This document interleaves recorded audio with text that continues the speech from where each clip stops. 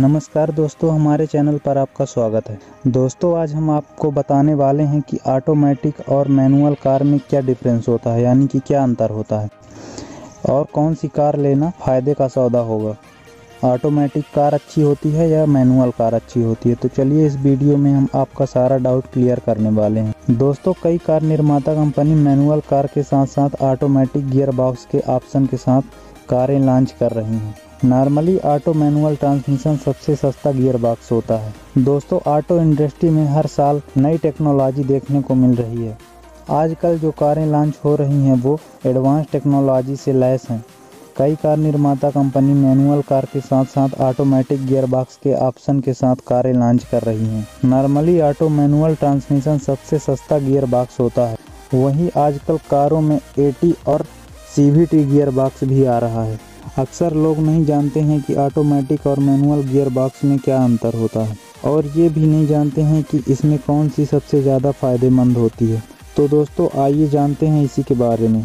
दोस्तों, हम आपको बता दें कि ऑटोमेटिक गियर बॉक्स वाली गाड़ियाँ मैनुअल की तुलना में लंबे सफ़र में ज़्यादा कंफर्ट होती हैं, क्योंकि आपके लंबे सफ़र में बार बार क्लच दबाकर गियर चेंज करने की ज़रूरत नहीं पड़ती है। इसमें इंजन की ज़रूरत के हिसाब से ऑटोमेटिक गियर बदल सकते हैं। वहीं मैनुअल गियर बॉक्स की कारें जो होती हैं, ज़्यादा भीड़ भाड़ और ख़राब रास्तों पर ऑटोमेटिक कारों को चलाना ज़्यादा आसान रहता है। इसके अलावा अगर कोई कार चलाना सीख रहा है तो उसके लिए ऑटोमेटिक कार ड्राइव करना आसान रहता है, क्योंकि उसमें केवल एक्सीटर दबाना पड़ता है रख रहता है स्टेयरिंग इतना ध्यान देना पड़ता है, ना कि बार बार स्पीड के हिसाब से खुद गियर चेंज नहीं करना पड़ता। अब दोस्तों हम बात करेंगे मैनुअल ट्रांसमिशन वाली कारें जिसमें हम बार बार गियर चेंज करते हैं। तो दोस्तों, भारत में भले ही लोग आजकल ऑटोमेटिक कारों को ज़्यादा पसंद कर रहे हैं, लेकिन मैनुअल ट्रांसमिशन वाली कारें भी बेहद ज़बरदस्त और अच्छी होती हैं।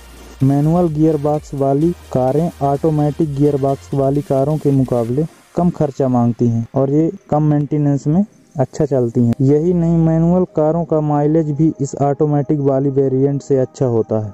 हिल स्टेशन पर जब इंजन को ज़्यादा पावर की ज़रूरत होती है, उस समय ऑटोमेटिक कार में मुश्किल आ सकती है। लेकिन मैनुअल कार आपको कभी धोखा नहीं देगी। ऑटोमेटिक कारों की तुलना में मैनुअल काफ़ी सस्ती भी होती है, दोस्तों।